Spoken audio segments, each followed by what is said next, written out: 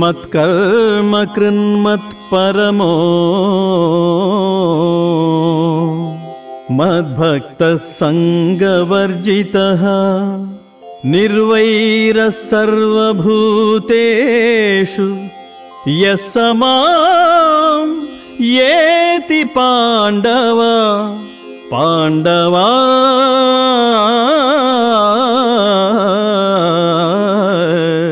आ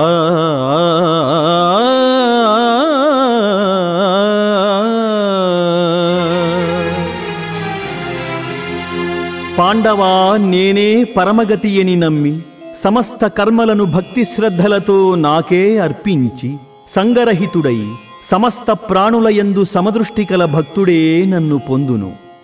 గంగాధర శాస్త్రి గారు నా మిత్రులు ప్రసిద్ధ గాయకులు. ఆయన భగవద్గీతలోని శ్లోకాలన్నీ ఆద్యంతం సంగీతపరిచి ప్రజాబాహుళ్యానికి అందచేయడం అలా చేయగలిగిన ఆయన అదృష్టం. ఇది భగవంతుని కృప.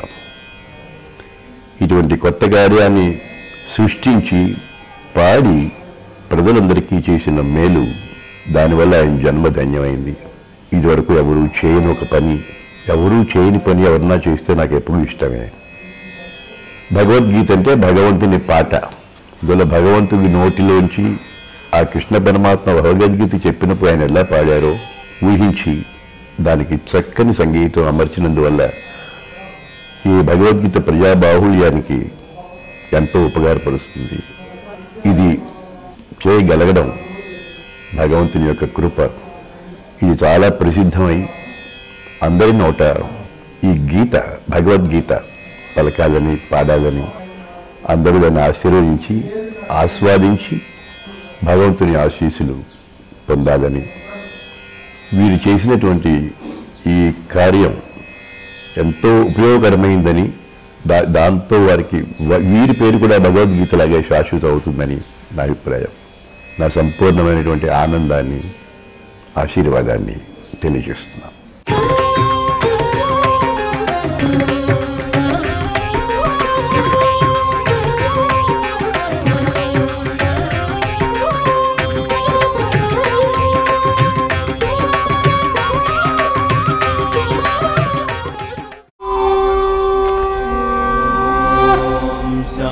It's Shanti.